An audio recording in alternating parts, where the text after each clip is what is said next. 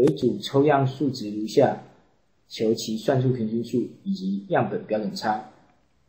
我们就先将它全扣，减掉一零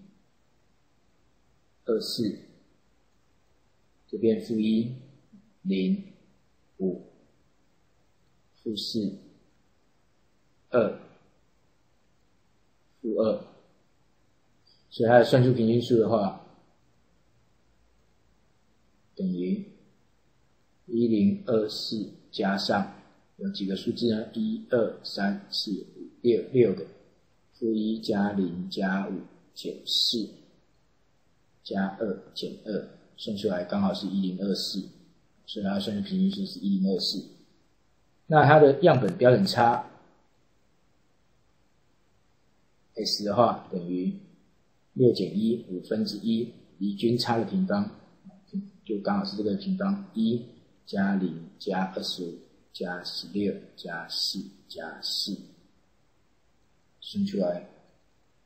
等于根号十。